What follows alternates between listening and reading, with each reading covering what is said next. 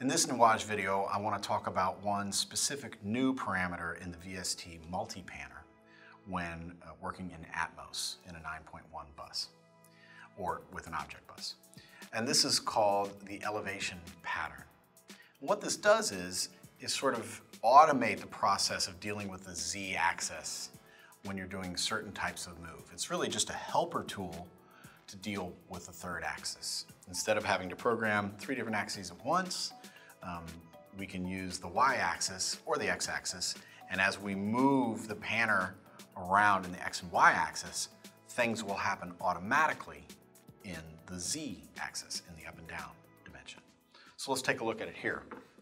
I've got a panner window open, and if you see up top here, these are all the elevation patterns. And in order to activate an elevation pattern, you only need to click on it here like this. Now here I've, I've activated this uh, triangular V-shaped, uh, upside down V-shaped pattern. And what it's done is it's put these planes in the rear view. Here you can sort of see it like this. These, these two little planes that are in the shape of an upside down V. Now let me show you what happens. When I pull back on the y-axis, in other words, I'm going, I'm going to bring the sound source from the front to the rear, the sound source is automatically going to follow the elevation pattern up and down as we move back. So here we go. As I'm pulling back, you can see the sound source is rising to the top of the room, and now it's falling back down to the bottom of the room, like that. But all I'm doing is adjusting the y-axis parameter. Gives a quick and easy way to, to make a sound source quickly go up and go down as it moves past you. These are just sort of, sort of some common maneuvers that you might want to do in an Atmos mix using the ceiling speakers. So here's another pattern that goes up and then over flat, over top of you.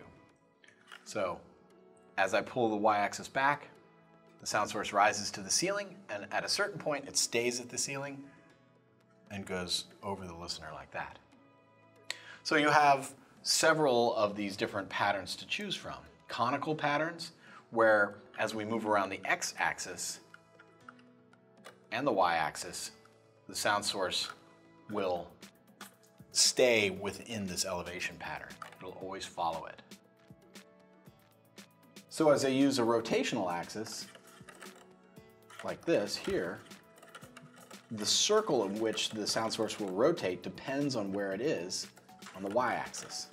As I move closer to the front, I'm now orbiting at this higher circle. I move even closer to the front, maybe even back towards the center. Now I'm going around this circle. So as you can see, it's really just a preset geometric pattern of elevation that you can insert into the panner and it takes over the operation of the z-axis. It's just a handy helping tool that allows you to do some creative moves in a more simple fashion. Also, if you notice, when we engage one of these elevation parameters, the z-axis becomes inactive. It's no longer functioning. As you can see right here, it's, it's grayed out. However, if I click the pattern again to turn it off, now the z-axis becomes available again to automate. So whenever you engage one of these elevation patterns, you lose control or individual control over the z-axis and the sound source will simply follow the elevation pattern that you've chosen as you move it around in the other two axes. So again, just a helper tool there. If we went to a, um, a stereo channel here, and now uh, we uh, call up that VST panner, we're gonna get some different modes when I engage one of these elevation patterns.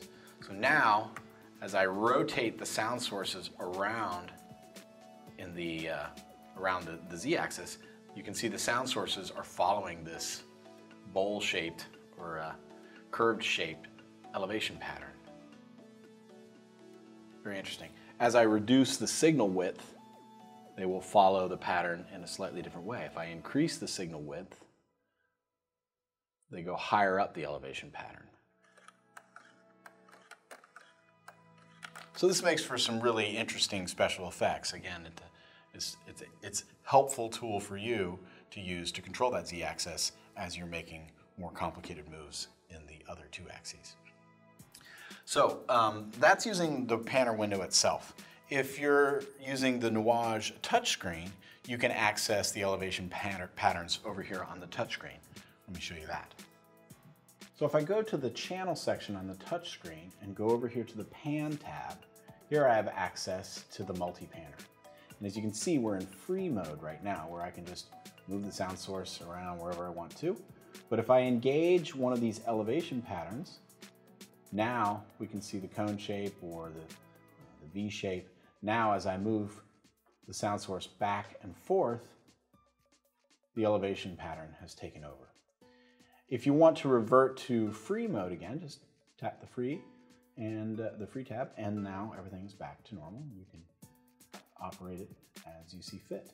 We can access all the parameters here on two different pages, depending on, you know, if you need access to the uh, divergence controls or uh, the regular pan positioning controls. So either with the touchscreen or with the knob set here, um, or back over on the fader unit.